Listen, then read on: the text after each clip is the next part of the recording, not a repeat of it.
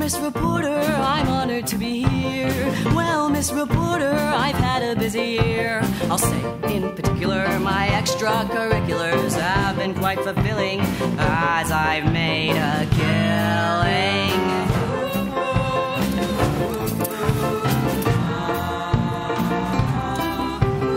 First, I chose my friend Ambrose for my debut.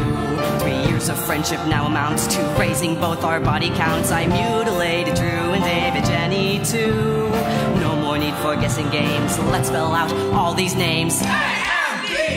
Oh, Miss Reporter, you look a little faint. Well, Miss Reporter, I've shown good self restraint. Cause it's hard to keep it under wraps when one slice makes a life collapse. Folks are just so delicate, sometimes it's for the hell of it. Bertha Geyser's fertilizer in the ground. Her gardening club retirement, she did love the environment. And I up poor Wyatt Shuck with an axe I found.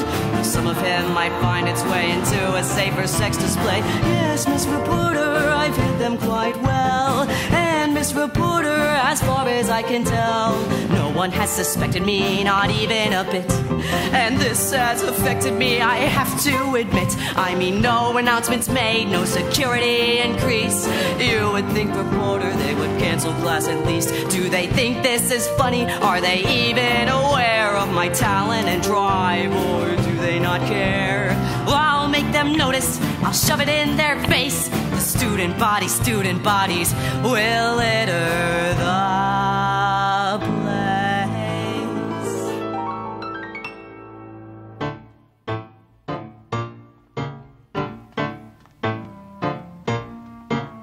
I'm sure you saw him scourge his body propped on the gate. It gave the tourists a big scare. But will the admin care? And Jeremiah might supply the dean's inner plate. Surely indigestion will raise a couple questions. And John and Tom and Ben and Gwen and Wendy and oh, Miss Reporter, you want your paper short.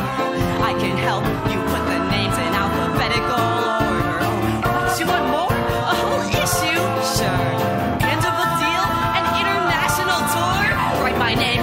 green or douse it all in gasoline. Just kiss the ground I walk upon my.